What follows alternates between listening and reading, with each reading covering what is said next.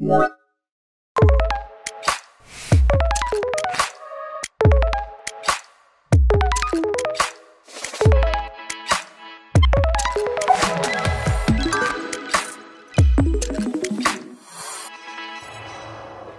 significance of representation in video games can't be understated. I've played many games over the years, and every time I get the opportunity to play a character that looks like me, two things come up. One, I'm really freaking happy. And two, I'm really freaking mad that I'm really freaking happy. Because that should be a commonplace occurrence. Our next speaker is going to dive into that and show us how the industry can do better. Kayode, or just Kay, is a mixed race game designer from London, currently teaching game design at Uppsala University in Sweden. He has also worked as a game designer on games such as Affordable Space Adventures and What the Golf.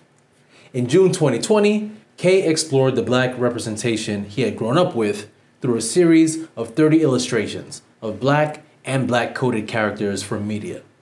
Now, Kay is exploring the representation of in game parents in games with custom character creators. All right, let's turn it over to Kay.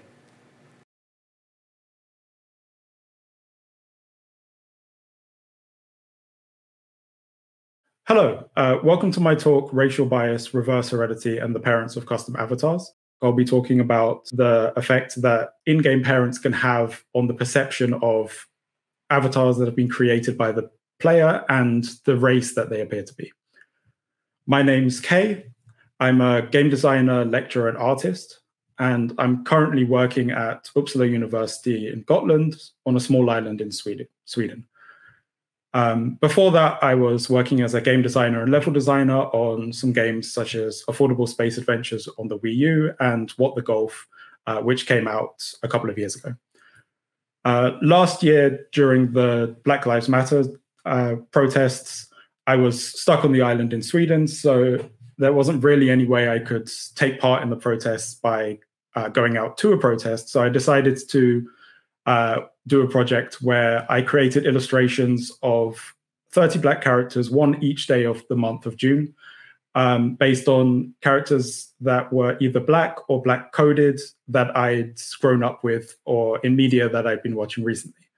Um, I ended up creating these 30 characters, and they're based on a number of characters that are either uh, positive representations or negative representations. And one thing that I noticed was um, looking at characters for games, there was very few characters to choose from. Um, I, I, chose characters from games, animation, and a few live action um, media. But um, I, one of the things I noticed about games was that uh, a lot of the characters that I identified with weren't black. Um, this is represented uh, in a number of studies. There's one by uh, Passmore, Yates, Birk and Mandryk in uh, 2017, uh, looking at racial diversity in indie games, which is an area of games that you would imagine would be where a lot of diversity was possible, um, because sort of lower lower budgets and more accessibility for uh, diverse developers, but they're still dominated by uh, white characters. And more recently, um, the Diamond Lobby also did a study uh, based on 100 games between 2017 and 2021. And they saw that uh, 61.2% of characters in games were white, and only 38.8% of characters were all other ethnicities combined. So, one place you would imagine uh, would be a better place to um, be able to play as diverse characters uh, would be custom avatar creation. So, in custom avatar creators, um, they're designed for the player to have as much freedom as possible to create a character that um, is either their fantasy or something that they feel represents them. Um, and even within uh, systems that are built for flexibility, there still seems to be a bias for white avatars. So in uh, Dietrich's paper, Avatars of Whiteness, um, they found that in a uh, looking at um, 65 MMORPGs and about 20 uh, single player role playing games, the majority of the characters were uh, lighter skin. There were very few um, African or textured hairstyles available. Um, and the uh, facial features also were prominently uh, Caucasian facial features. And um, in every single game they looked at, uh, white male was the default character option. And so often uh, players of color will end up in a situation where they start to play a game and the closest that they can get to a character that represents them is um, a tanned white character. So uh, there are communities that have done things to combat this. So if you look at the Sims community, there's a group of Sims players known as Black Simmers, and they mod the Sims to have um, black hairstyles, darker skin tones, um, different styles, things like that. Um, in a- Animal Crossing New Leaf, players were resorting to um, doing a really complicated uh, tanning system that was only available in the summer months between July and September.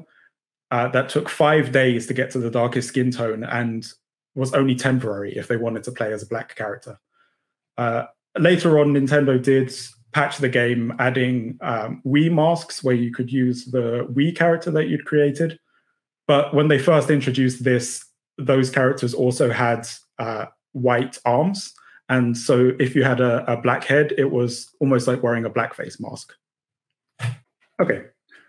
So in uh, World of Warcraft, the recent patch uh, or the recent update Shadowlands added um, diverse ethnicities for the human characters, but it took them 15 years to add these options, despite having fantasy races such as orcs and elves and even cow people. And one of the reasons that was given for this was uh, that it's just a reality of making video games, and you have to figure out where to spend your resources.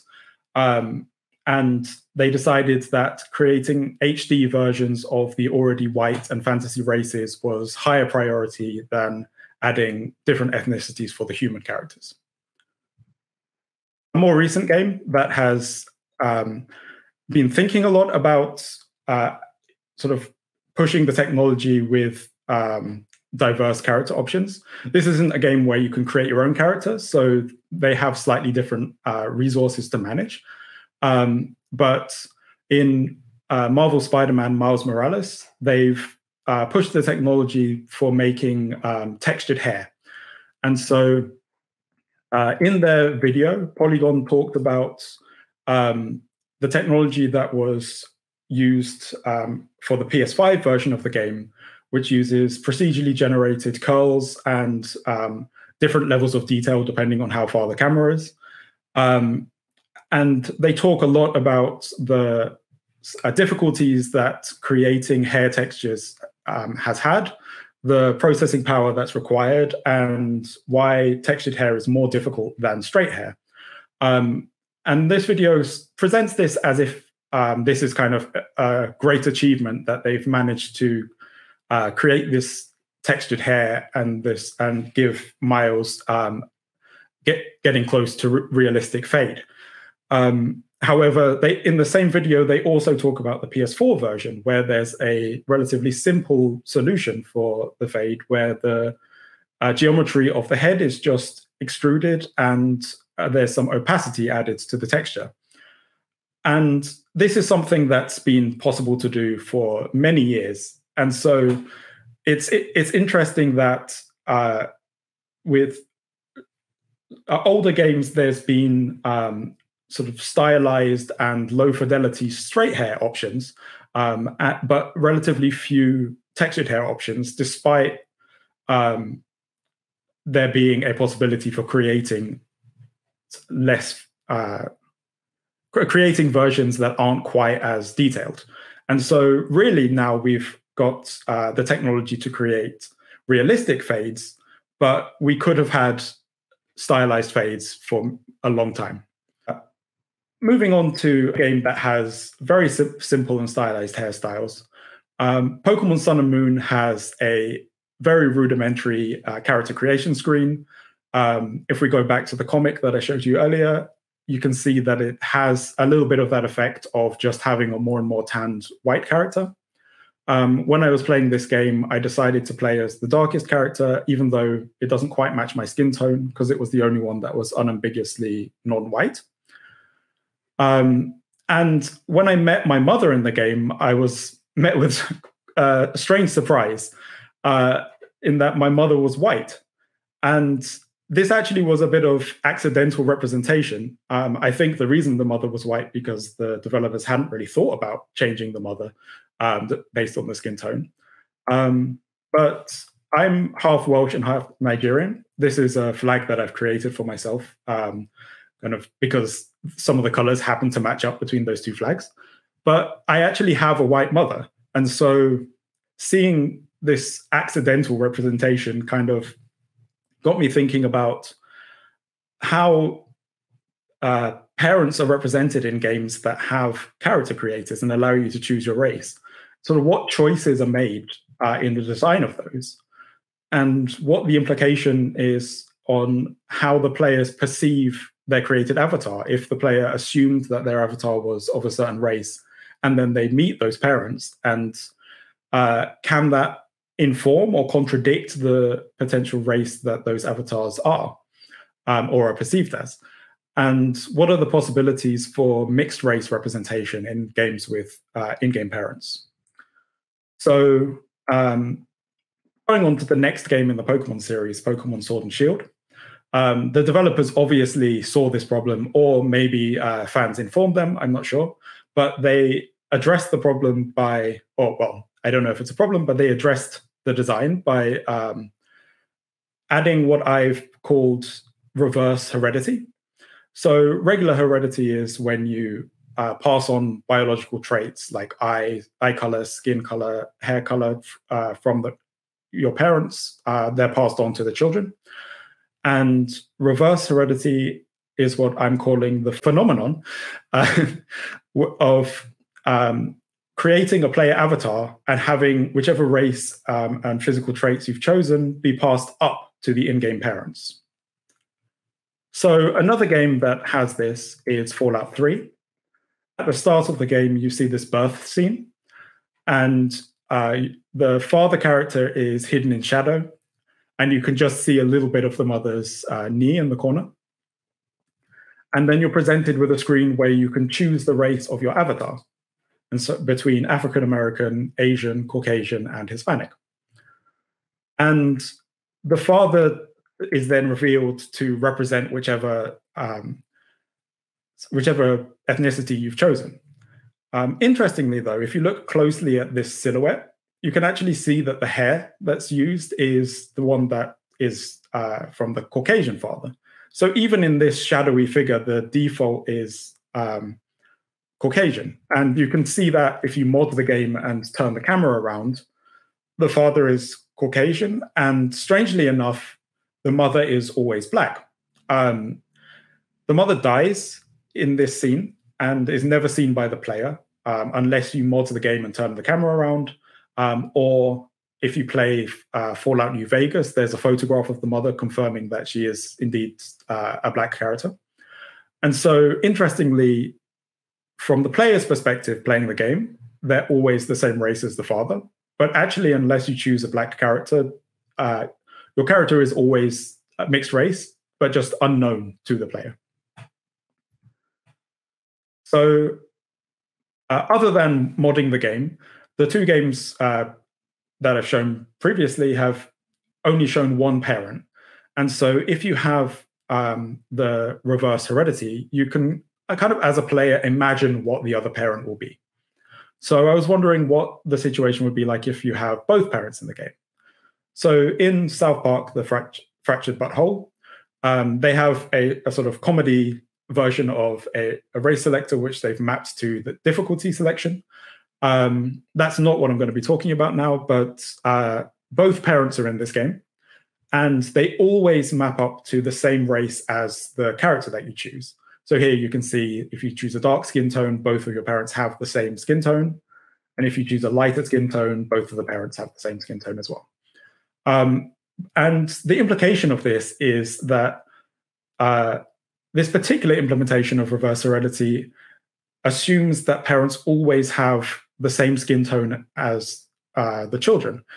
And in fact, the entire family is always the same skin tone, which says something about the potential biases of the developers and the type of families that they imagine when they're developing these games. Um, so I wanted to see if there were any other potential ways of tackling this problem. So um, in GTA Online, uh, which is an interesting place to find something like this, but uh, you can they actually have a heritage system where you can cycle through a number of preset grandparents and those grandparents will generate the parents which will then in turn generate the um, player character or the avatar. Um, another approach is fallout 4 this is slightly different because you're not actually playing as the child you're playing as one of the parents but you um, when you're choosing the um, gender of the parent, you can um, change both of these parents during the, or both of these characters during the character creation screen. And when you start the game, you play as whichever one's in the front, but the um, the other character becomes your partner, and the child character is generated from however you've created these characters. So that's just um, a few different versions of games where you have parents um, alongside sort of the ability to create characters. Um, so just running down uh, a few of these configurations in Pokemon Sun and Moon, you always have a white mother and the father's unknown. And so in this case, it's possible to be mixed race um, and it's visible as long as you have a non-white avatar. Um, and it's up to the player to imagine uh, what the father's race would be. Um, it's the opposite in the next Pokemon game, where the mother is always the same as the character, so or the um, avatar, so that it's not possible to see that you're uh, sort of visually mixed race, but it, you could still imagine what the race of the father is. Um, in Fallout 3, uh, it's sort of the same configuration as Pokemon Sword and Shield, but interestingly, there is a hidden uh, Black Mother. So um, that changes something about the reality of the um, mixed race possibilities, although the players wouldn't necessarily know that. Um, in the South Park game, both of the parents are generated, so it's not possible to have a visibly mixed race character. Uh, GTA Online you have some control in terms of generating the grandparents. Um, and so you can create uh, a mixed race character. And in Fallout 4, um, the parents are both created by the player. So you have quite a lot of control there. But of course, you're not actually playing as the child. So that's a little bit of a different setup. So, I mean, this is a small detail. Um, and so um, you might be wondering uh, why we should care about this. Um, and I think it's uh, well, I mean, for me, it's personally interesting, of course, because I'm mixed race, and um, and when I played that Pokemon game, I, I realized that I hadn't really seen um, a lot of mixed race representation, and of course, there are many other players who are mixed race other than myself. Um, Avatar creators have the potential to have um, really expanded possibilities of uh, for identification, but there's still a bias there for uh, white male characters. And um, assuming that kids and parents have the same race is a simplification of diversity. And i think it's not something that's of of course it's not something that's kind of uh, spite on the side of the developers but i think it's just something that they're not really thinking about. It's um, and of course it's simpler to generate both parents uh, if you're going backwards with heredity, it's difficult to know how you would split split up the um, the genetics in that way. And uh, yeah, and of course, the design of parents has implications for how the player can see themselves uh, in the avatar that they create. So you might create an avatar with an assumption. So, for instance, when I was playing the South Park game, I thought I was creating a mixed race character, but then when I saw my parents, I realized that okay, I, I must uh, be some other race that I hadn't intended. Um, and so in the future, it would be interesting to see um, the sort of implications of the this thought out in a few different ways. Um, you could, of course, give the player full control over the whole the whole family, um, like something like The Sims, but of course in a in a sort of narrative based story uh, single player game.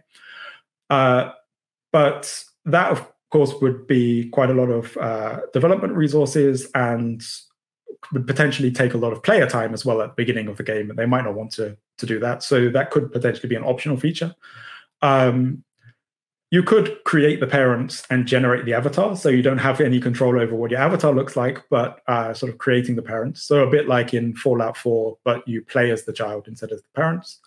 Um, or you could have randomized parents. Um, so Rust is a game that has um, randomized avatars, and you could do something similar where it wouldn't necessarily match up with um, what you you have yourself, but you could it would remove the sort of assumption of the entire family being the same race. And it would also be interesting to see other configurations, um, such as same sex parents or um, adopted parents, where the parents are um, not necessarily the same race as the children at all, and kind of mix and matching these uh, different options. So, um, yeah, in, in general, I think it's um, kind of interesting. It's also worth thinking about other things that might have influence on how you see your character when you go into the game. So, parents, of course, um, have implications about um, sort of the identity of your creative character, but other things in the story, um, sort of cultural things, might crop up as well and would be interesting to look at and how they impact um, a creative feature like a, a custom custom avatar creator. So that's been my talk. Thank you. Um, I'm on Twitter and I have a website, although I'm not super active there. Um, but you can you can find those uh, if you're interested. So thank you.